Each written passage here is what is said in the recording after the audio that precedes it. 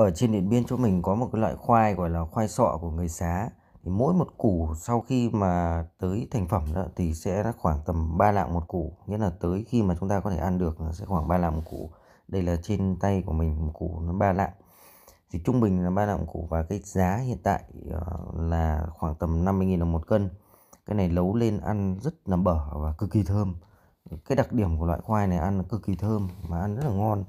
Kể cả chúng ta ăn nẩu hay là nấu xương ăn cực kỳ ngon khi mà chúng ta làm thì chúng ta sẽ thái cây vỏ này ra nghĩa là chúng ta gọt sạch cái vỏ để nộ ra cái phần trắng ở bên trong và chúng ta rửa sạch đi sau khi rửa sạch thì chúng ta sẽ cho vào chúng ta nấu nghĩa là nói chung chúng ta nấu giống như nấu canh xương canh khoai bình thường hoặc là khi chúng ta ăn nẩu đó thì chúng ta sắt làm bốn và chúng ta cho vào nồi nấu ăn cực kỳ bở và rất là thơm cái đặc trưng của khoai này thơm dã man luôn ăn cực kỳ ngon đó, đây là cái cảnh mà vợ mình đang nấu nấu cái khoai này với canh xương.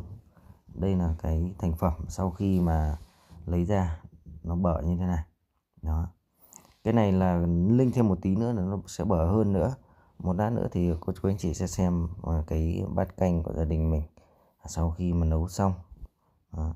đây là cái bát canh sau khi mà nấu xong, cho thêm một chút thì nà để nó đẹp hơn và ăn nó ngon hơn cái giá tươi của củ tươi đó, hiện tại mình đang bán là 50 ngàn cho một ký và ăn rất là ngon thì cô chú anh chị ờ, có thể mua